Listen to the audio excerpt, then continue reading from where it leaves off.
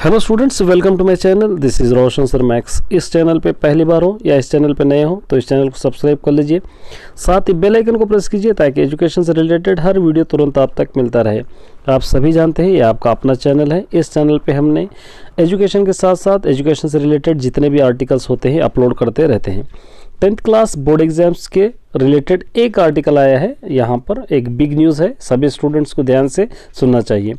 इस साल, यानी 2022 में जो भी बोर्ड एग्ज़ाम्स कंडक्ट किए जा रहे हैं टेंथ क्लास के लिए, इन सभी स्टूडेंट्स को कोविड के गाइडलाइंस को फॉलो करते हुए बोर्ड एग्ज़ाम्स कंडक्ट किए जाएँगे।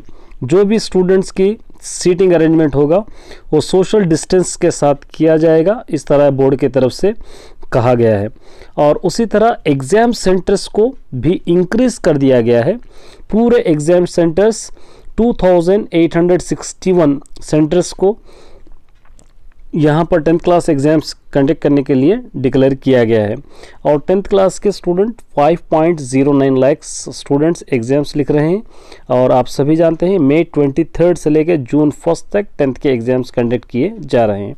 तो ये एक बिग न्यूज़ थी टेंथ क्लास स्टूडेंट्स के लिए। इसका मतलब ये है कि जितने सेंटर्स थे, उससे डबल सेंटर्स दिए गए हैं।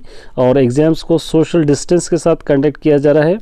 तो इसलिए सभी स्टूडेंट ऑल द बेस्ट जो भी एग्ज़ाम्स लिखने जा, जाने, जा रहे हैं, और अच्छा पढ़िए एग्ज़ाम में अच्छा लिखने की कोशिश कीजिए, और जितना भी रिवीजन आपसे बन पाता है, सभी करने की कोशिश कीजिए। All the best all tenth class students